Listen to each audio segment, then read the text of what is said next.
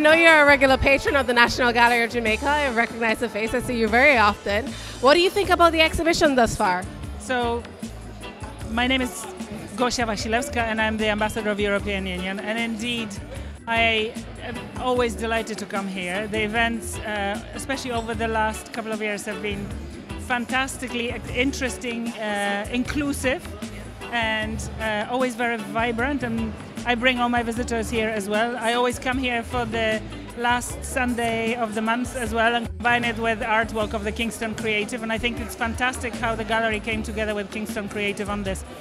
Today's event tops everything I've seen so far, but I haven't been here that long, only three and a half years. But it is wonderful. Look at the crowds you've had here. The exhibition, I haven't even had a chance to see half of it because it's been so busy. But I will come back. I've got visitors here today, three Jamaicans from Europe who haven't been here for a long time. We'll be coming back tomorrow, and I've got four more visitors from Poland coming next week.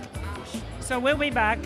Um, but I love the ambience that has been created and the fact that musicians and such famous musicians were here to illustrate what creativity you, you have here and what the music does to the people of Jamaica and worldwide. So I'm so thrilled to be here. Congratulations, congratulations to Jonathan and all the curators. It's really been fantastic. Thank, thank you. Thank you, thank you.